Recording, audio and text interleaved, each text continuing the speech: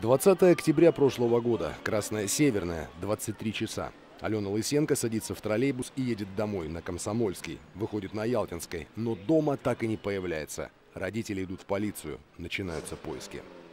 В данных поисках участвовало около 40 человек.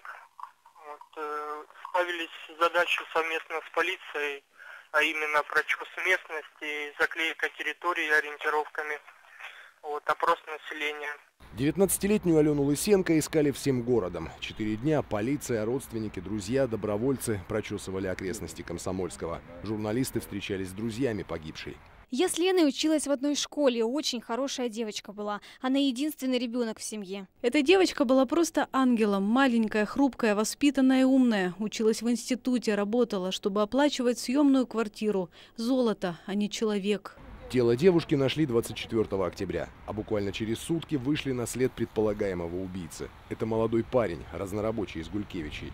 Как выяснилось позже, он попросил у своей жертвы телефон. Она отказала, а дальше начался кошмар. Вот он на следственном эксперименте. Рассказывает и показывает, как все случилось. Догнал, ударил по голове, отнес в гаражи и изнасиловал. В результате причиненных повреждений девушка скончалась на месте. Между тем, заблуждаясь относительно наступления смерти погибшей, а, молодой человек все же предпринял попытку ее задушить.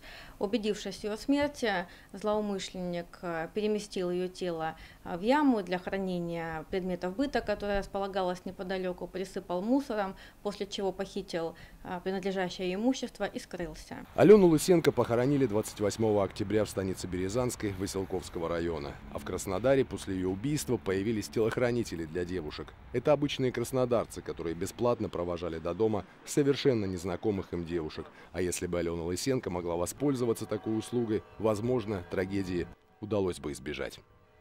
Андрей Чумаков, Валерия Мастрюкова, телекомпания «Краснодар».